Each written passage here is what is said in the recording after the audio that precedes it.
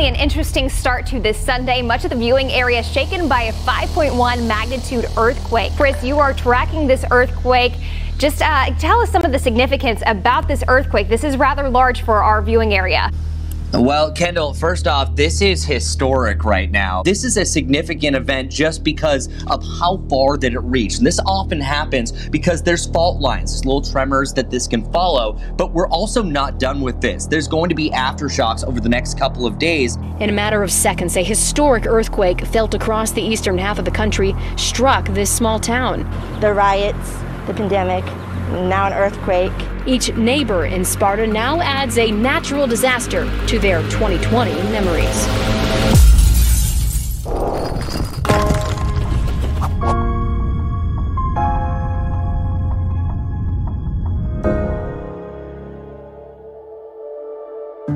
We are experiencing not just one earthquake this year, but many. The fault lines in our society shudder and split open fault lines have marked our response to the pandemic. The virus has killed more than quarter million people. Afectando de manera desproporcionada a las comunidades negra, latinx y nativa. Hourly essential workers risk their lives every day while millions of other workers can zoom in month after month.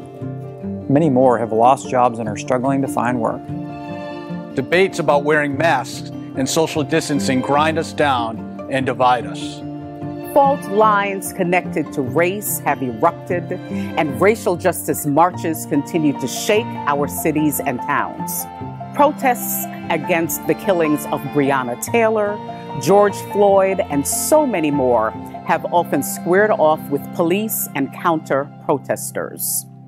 Battles have sprung up over how we tell our country's story and we wrestle with the impact and role of symbols from the past in our nation today. And the economy is similarly divided.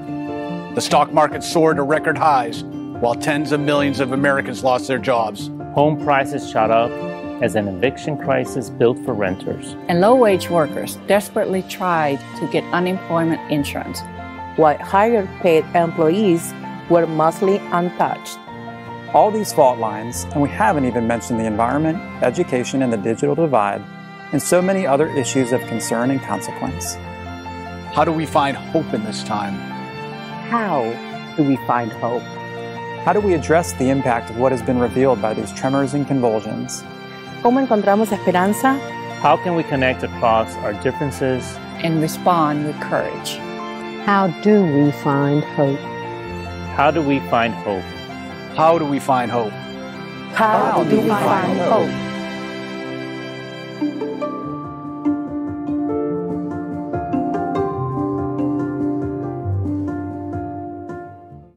Good morning. I'm Byron Hawkins, and on behalf of our board, I welcome you to our 2020 Stakeholder Breakfast. Yes, it's a breakfast, even though we're not all together. And like the rest of our programs at CBI this year, we could not and we would not cancel this event due to the pandemic. I vividly remember the first time I left, I felt an earthquake. I was a freshman at Loyola Marymount University in Los Angeles, California. Luckily for me, it was a small one, and the tremors only lasted a few minutes, but the anxiousness lasted for weeks. My roommate was right. The anxiety eventually faded until the next fault line slipped and the shaking started again. The things we let divide us are fault lines in our communities. The events of this year filled me with the same uneasiness I felt more than 25 years ago. But unlike geological fault lines that can't, that can't prevent, that we can't prevent from activation, we have the capacity to prevent inequity and remove bias and defeat racism. Our program today is truly a unique CBI experience, designed to equip all of us with the knowledge, skills, and courage for the journey ahead. We have more than 1,000 registered virtual participants. Think about that, 1,000 people from across our community and some other parts of the country. If we each wake up, interrupt, and step up, imagine the change we could bring to the communities we live in. When you feel moved this morning, step up, jot a note on your doodle sheet, and also consider making a gift to support the work of CBI. Trust me, it's easier than buying groceries online. Simply click the donate button on your screen or go to our website, cbicharlotte.org slash donate. Thank you, and over to you, Rick. Thanks, Byron. And good morning, everyone. I'm Rick McDermott, and with Byron, I serve on the CBI Board of Directors. On behalf of all of us, welcome to this year's Stakeholders Breakfast. Fault lines. They exist in our ground and they can impact all of us, regardless of whether or how we acknowledge them. But if we wake up to understand our fault lines and we equip ourselves to step up and interrupt them, our community will thrive. Thank you for joining us this morning as we explore this theme and consider how we can use ourselves to influence for change. I'd like to offer special thanks this morning to our presenting sponsor, Wells Fargo, whose commitment to CBI has been unwavering. Wells Fargo has been the presenting sponsor of our Stakeholders Breakfast for the past 11 years, and their very own Kendall Phillips is serving as the co-chair of this year's event. We appreciate their consistent participation in all of our programs. Thanks to Wells Fargo and to Kendall. Thank you to all of our sponsors. You can see the names and logos of these generous community-minded companies and organizations on your screen and at our website. The financial commitment of these organizations makes it possible for CBI to continue its work of giving people and organizations the knowledge, skills, and courage to fight bias, remove barriers to opportunity, and to build a more equitable and just Charlotte Mecklenburg. I'm really excited this year to announce that this is the largest number of sponsors ever for a CBI Stakeholders Breakfast event, which speaks not only to the importance of CBI's mission, but specifically to the focus of this year's breakfast, shining a light on the fault lines in our community. Thanks again for joining us this morning. I know you're going to enjoy our program, and I'd now like to pass the mic to Dianne English, CBI's Executive Director. Diane? Thanks, Rick. Thanks, Rick. Good morning to each of you. I bring greetings from CBI's team, Anetta, Christy, Megan, and Pat, as we truly connect across distance this December morning. You've already heard mention of the phrase we've highlighted our last two breakfasts, namely, wake up, interrupt, step up something we champion for promoting awareness and change within ourselves, our organizations, and our communities. In 2020, perhaps, we should reorder this triplet to say, interrupt, wake up, step up. CBI has been working hard to pivot and respond to the interruptions we have all experienced and to respond to the demands for social justice that have filled our streets. Our two flagship leadership programs, LDI and LU40, went virtual. And we were able to not only graduate those two classes, but have recruited for the next two. Our Equity Impact Circle program, where a small group of people participate in a series of sessions together, adapted very easily to our new virtual space. And we can proudly say we even have virtual bus tours. Since March, what has taken place and been revealed yet again in our country, our community, and how we and others live our lives has been profoundly marked by interruptions. We are asked in new and hauntingly familiar ways to wake up to who is burdened and who benefits and why. To determine how we, individually and collectively, organizationally and system-wide, will step up and acknowledge the fault lines we see and experience. The fault lines that need to be addressed, interrupted, and transformed so that we can do what is ours to do while the opportunity is all around us. So, in that hope, we gather together today to learn from, to inspire, and to challenge one another. CBI equips people to make change. So today I am proud to say that except for our national special guest speaker, Nicholas Kristof, everyone you will hear from is a CBIer. And if, like me, you doodle while you're listening, use our agenda placemat to jot down your thoughts in words and pictures and be prepared to share it with us at hashtag faultlines at the end of today's program. So, buckle up and open up, initially to James Ford and Eli Portillo, who first met in 2014 in Leaders Under 40, Class 4. We're here, Trade Street, kind of right near the Five Points area, and we're really at the intersection of a lot of forces colliding. We've got gentrification, we've got looking out, I see new skyscrapers, new five, six hundred thousand dollar houses next to um, families and places where people uh, have been renting for a long time, and it's really just um, kind of emblematic of what we're seeing in Charlotte. In every major American city, you have similar stories. Uh, in Charlotte, this particular corridor was once redlined, right? In other words, it was marked off and essentially symbolizing to investors do not invest here. And it's purely because of the racial composition of the neighborhood. Now, what we're seeing happening is that, you know, investors are coming back into those areas now that the uh, land values have been depressed and they're starting to develop it. These are becoming hot spots, hot areas. But what happens is the black communities that lived here for generations are missing out on that wealth. And subsequently, you have what is systemic racism, a socially engineered mechanism for denying and stripping whole generations of black people of wealth. Yeah, so the Urban Institute project, um, I think, really exemplifies some of CBI's goals and missions, uh, especially around knowledge. You know, we're really about equipping people with the knowledge to understand what's going on in their community, what's driving it, and uh, what the impacts are, not just at a, a surface level, but at a, a really deep level. And in the case of the racial wealth gap, that's multi generational. That plays out from the Jim Crow era back to slavery, and there's direct connections to what we're seeing now. Can you tell me a little about why you think it's important that people get the knowledge to you know wake up, interrupt, step up, and uh, affect real change? You can't begin to figure out how to be part of the uh, solution if you don't understand the root of the problems.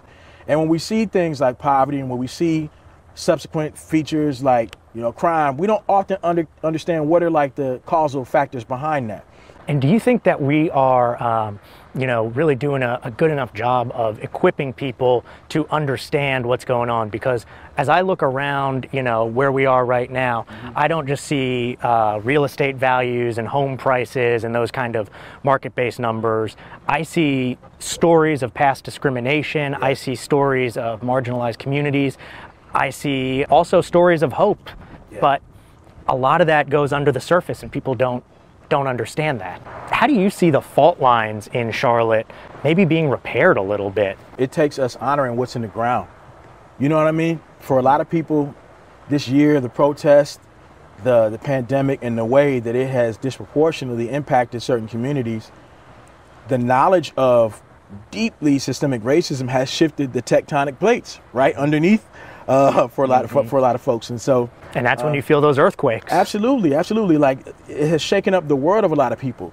Some people live on the fault lines, like they live on the San Andreas, right? and so their worlds are constantly being shaken up.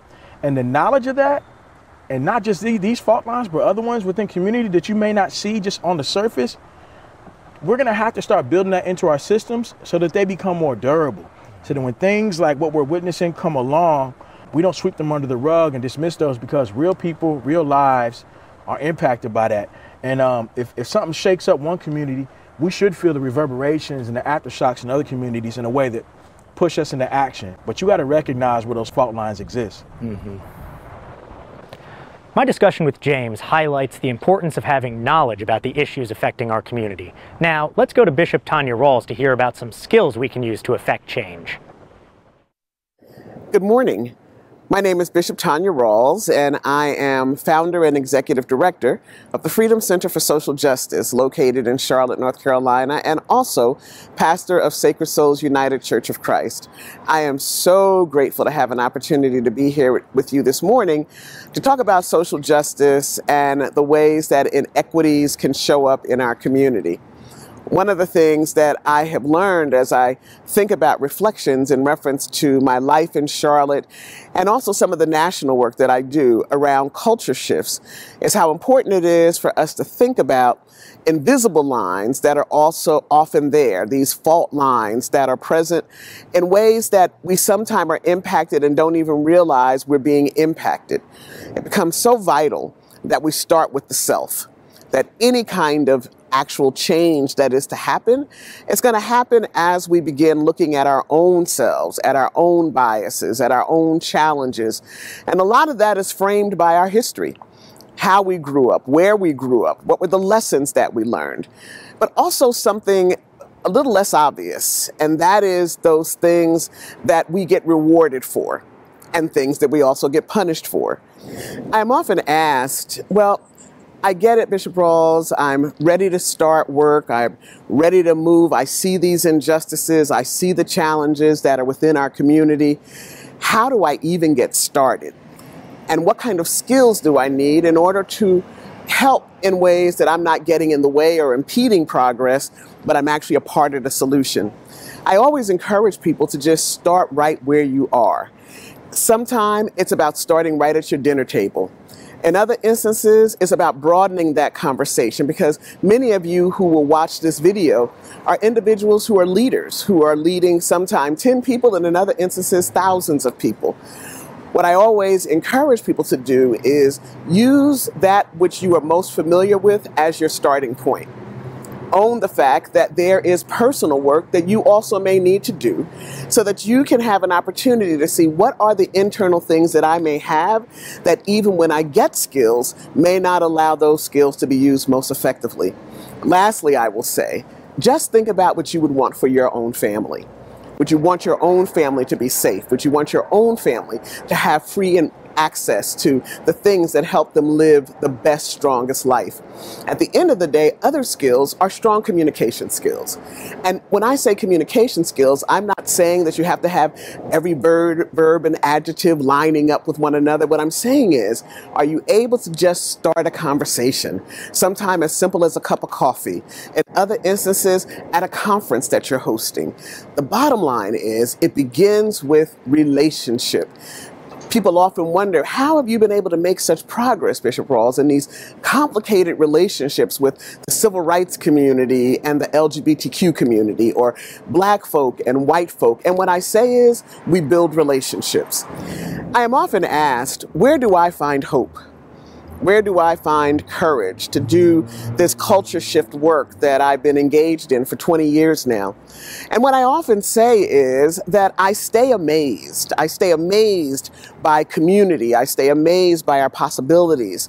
And among those things are the things I've learned as I work at intersections that some would view the most difficult, where actually I have found the greatest progress when I'm going to those who are often least like me and least like those that I serve Does it take courage? A little. Um, but what happens when we come together and when we talk about the needs that exist in our community, when we can find common ground, I have actually found that it is those that are, are seemingly farthest away from me that we can do the most amazing work. So, what I know is the work that CBI is doing is worth us all investing in. And the things that we have an opportunity to learn, let us learn by stretching out and looking at what is working and glean from those spaces. I want to thank you so much for this opportunity to talk to you and to share just a few of the learnings I've had over these years of working on culture shift. We can do this, Charlotte, and I'm excited to be a part of that solution.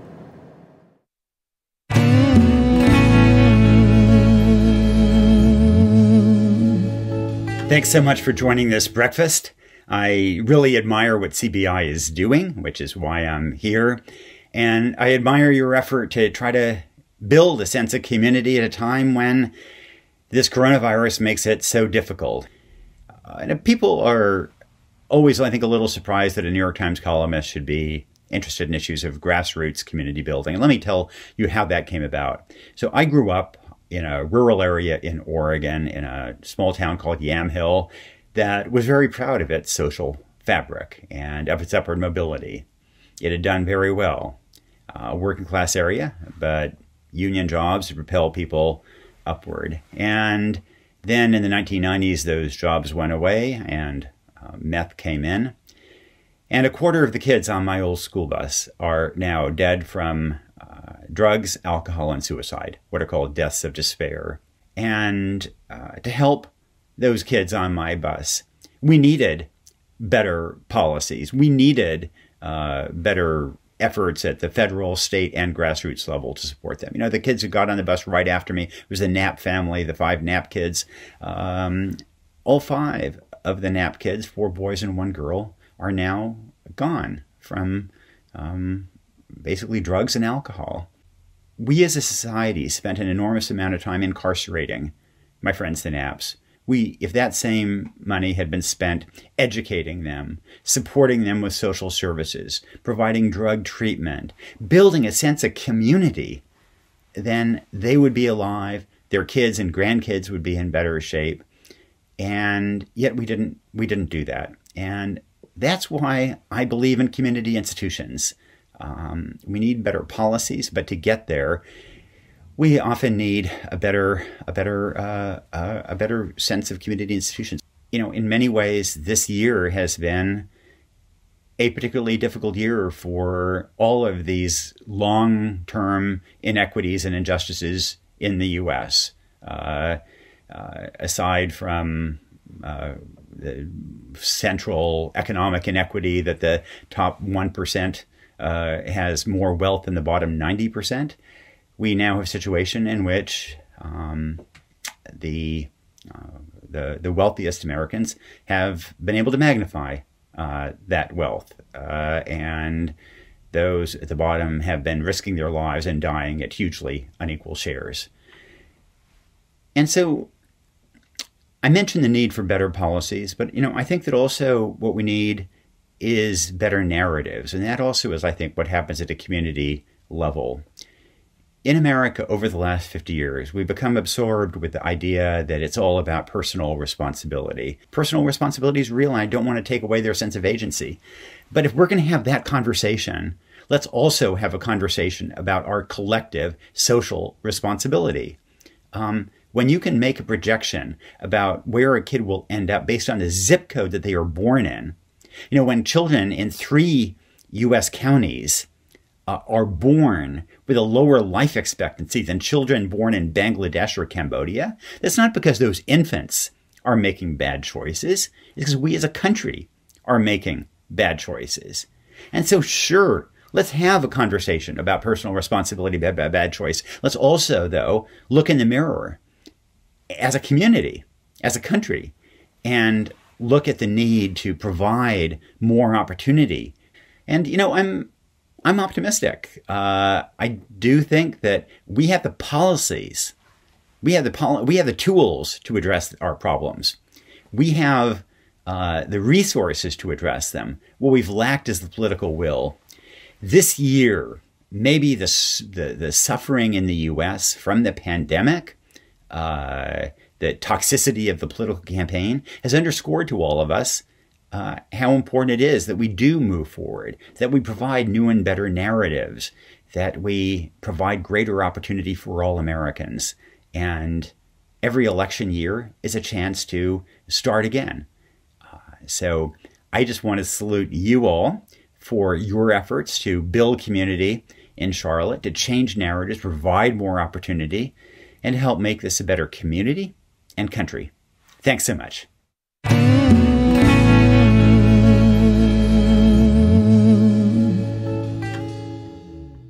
We have all shared the stories, spoken the words about the communities, the neighborhoods that once were Brooklyn, the people who are actively being displaced, Cherry.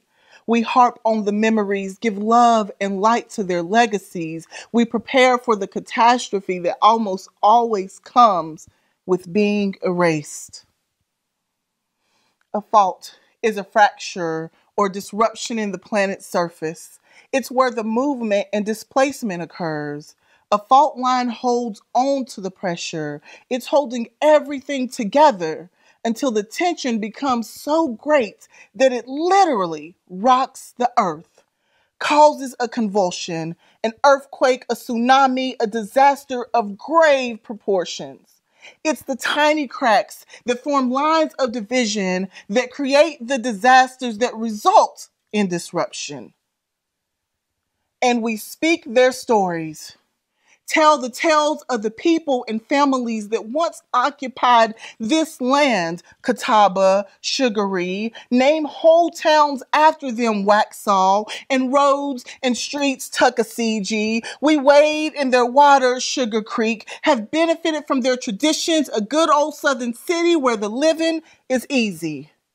We forge forward in the name of urban renewal with trains and tracks that slice through entire neighborhoods, Optimist Park, that displace whole families and generations of people who have lived and worked there, Enderly Park.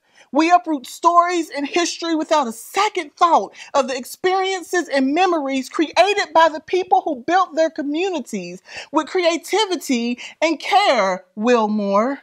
And every time that the people are erased, Brook Hill, families are left out in the cold Biddleville, beneath the surface Lockwood, beyond the visible Smallwood, a crack is exposed. The plates begin to shift. Nature is taking its course. You cannot think that you can disregard the most vulnerable yet resilient of your city and not be met with a catastrophic force and not come face to face with the consequences of your actions. When what is in the ground can stay there no more, the people erupt, movements happen, perspectives shift, cities shake, lives are changed, and earths will quake we speak their stories. Discuss with candor how they can no longer afford to live there now, NoDa. About how their homes are purchased for pennies and torn down and rebuilt, First Ward. Turn what meant something valuable to somebody's grandma, Greer Heights, into condos and townhomes, half a million dollar builds, Seversville disregard the irony of stripping yet another people from their home. Another crack reveals itself from beneath the surface. Another black community erased and displaced. A city with a crisis of consciousness. Another neighborhood goes up for purchase. Another family out on the streets, ousted to the outskirts of the city or to the places without access.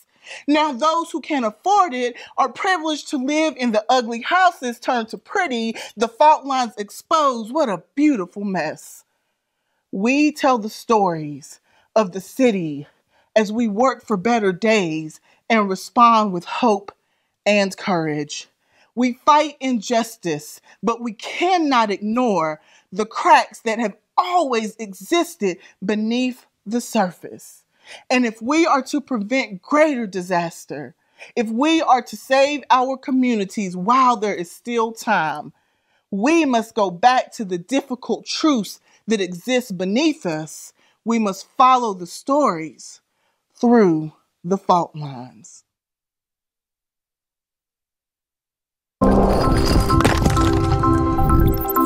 What gives me courage is when I see other people living their most authentic lives. Um, and it's why I'm so excited to be part of LU40 this year because I'm surrounded by dozens of wonderful Charlotteans who are living out their personal missions, um, doing what's right because it's the right thing to do, and really eager and inspired to learn about how to better themselves and better our community. I've witnessed the resilience of young people from pre K to eighth grade and of teachers as they overcome the challenges of teaching and learning remotely. I'm encouraged by their steadfastness and commitment to academic and social emotional growth, the latter of which is needed now more than ever. But it's listening to student discourse, even through Zoom, that gives me the most hope.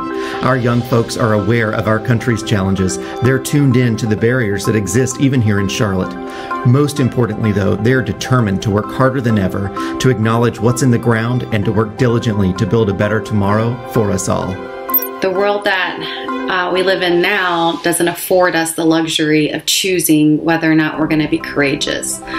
Being courageous is a mandate now, it's not a choice. And being a leader um, in Charlotte and a member of this community, it is my duty to speak up and step up and interrupt when things um, that I see are unjust or not right. And in order for us to set examples for other members of our community, for our classmates, for our children, um, then we need to know that when it's time to step up, we must have the courage to do so. I found my courage to interrupt and step up to champion equal rights and equity through knowledge, skills, and vocabulary that I was able to develop during my time in the Leaders Under 40 program. I may speak from my I, but my courage comes from the we and the community that we all share. Courage to stand up for what's right and take action for change for a more equitable Charlotte Mecklenburg and beyond. I'm so proud to share this platform with an amazing group of individuals who are collectively making an impact to our community. It gives me hope to see and be a part of a community dedicated in making Charlotte a better place. Most importantly, it gives me hope to see the younger generation taking the initiative and making sure their voices are being heard to provoke change in different avenues. What brings me hope as a native Charlottean is that there are many young professionals willing to put themselves in positions to better our community. I find hope and knowing that more conversations are taking place in our current times than ever before in our nation's history on our implicit biases and the impact that those incorrect narratives have on our institutions, businesses, and society. I find hope in how many citizens have heard the fear and pain of those brave enough to share their stories and pledge to make real changes going forward. I know that these can sometimes seem like small efforts. But those are the seeds of the fruit that bends the arc of the moral universe towards justice. And in that, I find hope.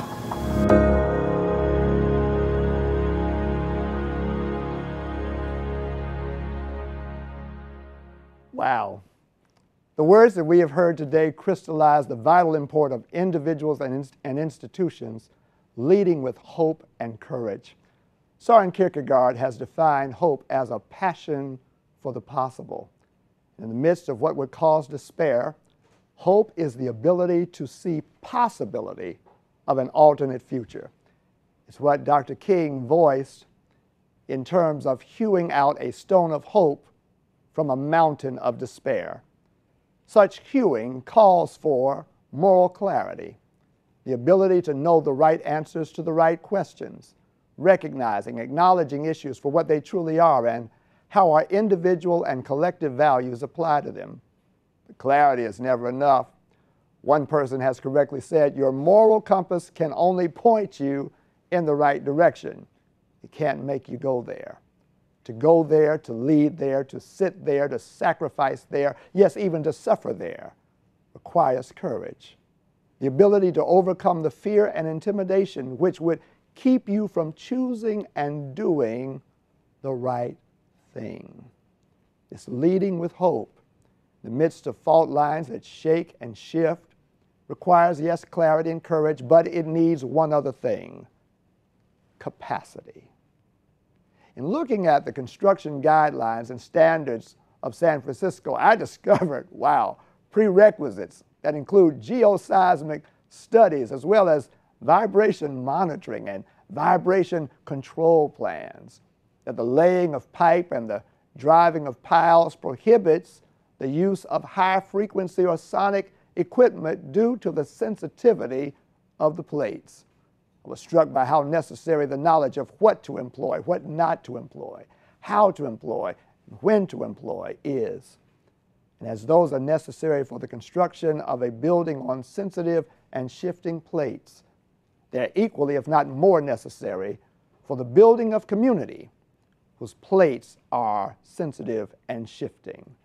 Leaders must have the sensibility and the strength to stand and not shrink in the midst of the shift and sway of fault lines. CBI helps intensify the commitment and increase the capacity of leaders and the institutions they lead in building communities characterized by equity, access, and inclusion. And your support of CBI helps in this worthwhile work. All those cranes that are going up in the sky, buildings that are coming out of the ground, they are wonderful.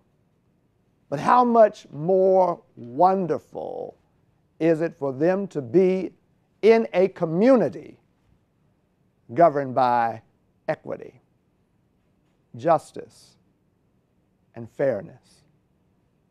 Your support of CBI makes that happen. And so you can safely donate online by visiting cbicharlotte.org backslash donate. And you'll find multiple options for investing in the work. Now I want to present Dianne English. Oh, gracious. It's always such a privilege to follow Bishop Claude Alexander. It's a little intimidating, but it's a gift. Um, in just a moment, you'll be moved into a breakout room to have a smaller group conversation, a virtual version of the table conversations that are such a hallmark of previous CBI stakeholder breakfasts. As always, there will definitely not be enough time, but the discussions can continue especially since we prepared a downloadable conversation guide with both the questions and some insights into fault lines and how they illuminate issues of equity and inequity in our community. You will have about 15-ish minutes to talk and listen, and there will be a moderator waiting for you. Then you'll be back with us for a very few brief remarks and a special gift. If for some reason your room does not have a moderator, we hope that someone will step up and do the honors. Enjoy one another and see you soon.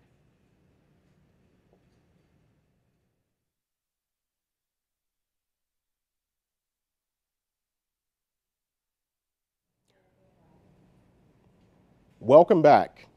I hope you enjoyed the conversations around your virtual table. The energy in this room was amazing. And I know that the the sessions that we've seen and enjoyed have taught us all something that we can take with us. I encourage each of you to keep these conversations going by using the CBI conversation card you downloaded or find it on our website. Also, if you've been doodling on your agenda placemat, snap a picture and post it on our social media using hashtag faultlines.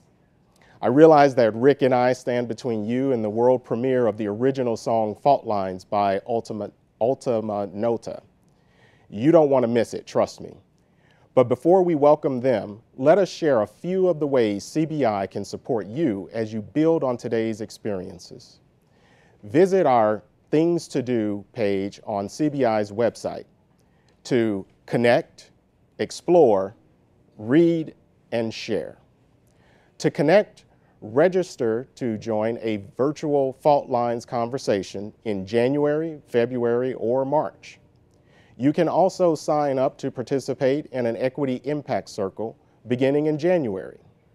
To explore, check out our CBI Curiosity Tour, launched this year during the pandemic, which takes you into Charlotte's Center City, the East Side, and the West Side to explore pieces of our history, and our current day places of interest.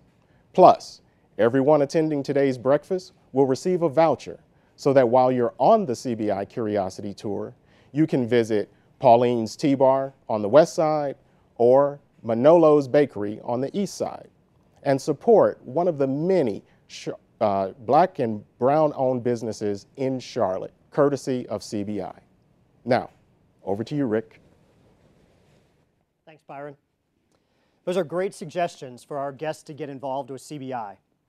In addition to connecting and exploring, I'd like to invite all of you to read.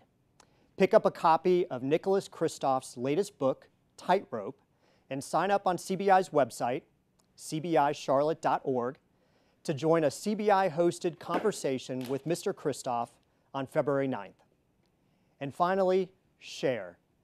please consider joining the CBI family or renewing your connection with CBI by making a financial gift. You can donate online at cbicharlotte.org backslash donate, where there are multiple options for giving. A recurring gift is a great way to give throughout the year. And of course, please let us know if your employer offers matching gifts. Once again, thank you so much to our sponsors and the many other donors for making today possible. A special thanks to our 2020 Stakeholders Breakfast Planning Team and the leadership of Kendall Phillips, Eli Portillo, and Tom Zwang. And of course, to the CBI team of staff, faculty, and specialists who are able to bring CBI's work to life each and every day. Now, please enjoy Ultima Nota and their original song, Fault Lines. Dancing is definitely encouraged. And what do they say? Dance like no one is watching? Today is definitely the day for that. And be thankful that there is no ballroom, escalator, or parking deck to navigate as we close today's event. So please stay connected and enjoy the performance. And don't forget to send CBI your photos or tag us on social media using hashtag faultlines. Thank you. Hey guys, so we're so happy and, and grateful to be here. Thank you, CBI, for the invitation. So now this song, um, we wrote it for this event. We, we loved it very much. It's called Fault Lines. Um, so check it out, sing it along with us, and uh, we hope you like it.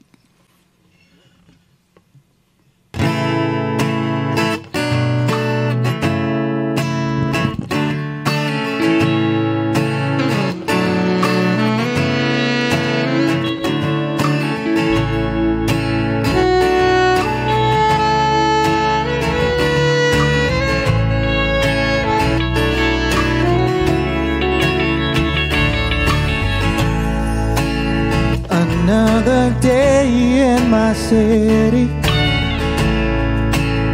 These times are strange, no one can feel the love. I'm trying to find the common place, get my feet on the ground, but there's nothing I found. I hear my neighbor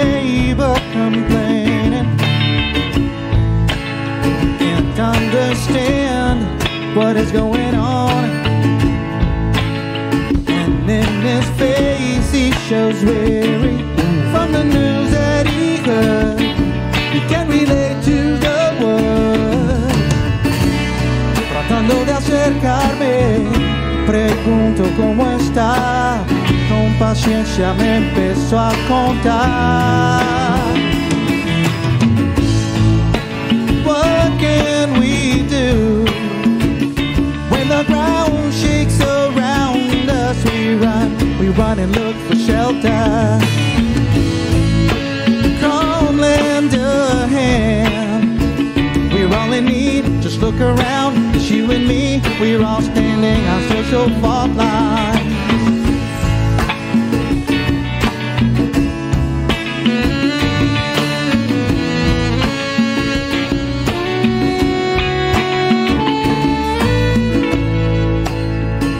Walk the streets in my city. I hear the sirens coming, they're coming round the bend. And there's a woman that's screaming to a corner store clerk. She can't relate to the words. Tratando de acercarme, pregunto qué pasó. Se ha calmado un poco y me contó. What can we do when the ground shakes around us? We run, we run and look for shelter. Come lend a hand. We're all in need. Just look around. You and me. We're all standing on social fault lines.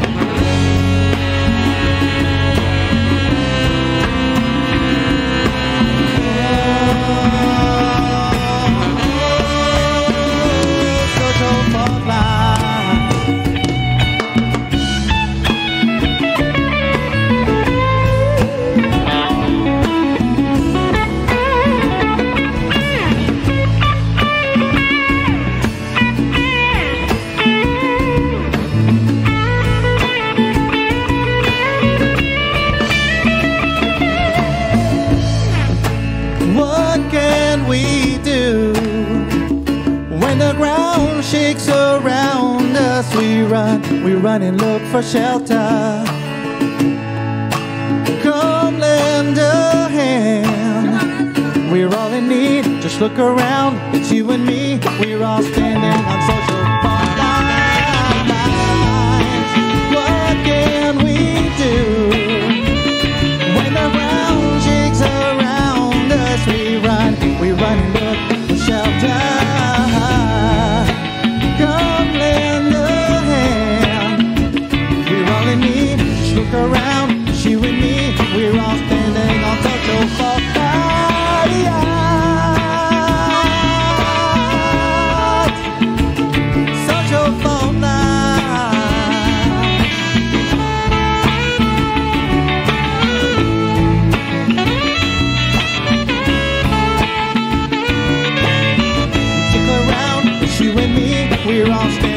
puxou voltar.